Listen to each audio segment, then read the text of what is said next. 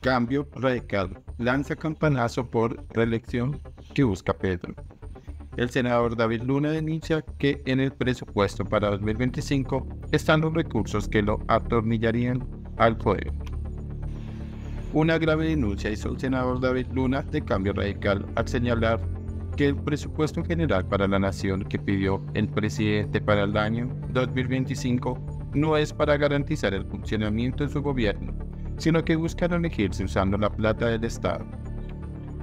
El presupuesto para 2025 solo sirve para las intenciones electorales del presidente Gustavo Petro. No es el presupuesto de la nación, es el presupuesto para financiar su reelección. Lamentablemente es el presupuesto de la reelección. El gobierno del presidente Petro radicó ante el Congreso el proyecto de ley que del presupuesto 2025 sin embargo, la Contraloría General de la Nación, ANIF, Desarrollo y muchísimos expertos han anunciado que el presupuesto está totalmente desfinanciado. En este sentido, Luna agregó que, es decir, no sabemos de dónde saldrá la plata para financiar semejante monto. Lo preocupante es que el gobierno está decidido en aumentar el presupuesto a como de lugar, inclusive presentando una reforma tributaria que golpea el bolsillo de los colombianos para recaudar 12 billones de pesos.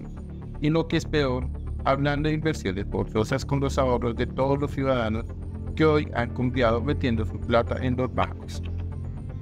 De la misma manera, el senador explicó que, con cuentas alegres, piensan que los colombianos debemos pagar un 22% más en impuestos. Entonces la pregunta es para qué buscan que se apruebe un monto tan alto, que no tiene soporte en los ingresos y tengan la seguridad que no es para aumentar la inversión social, pero aumentaron en burocracia.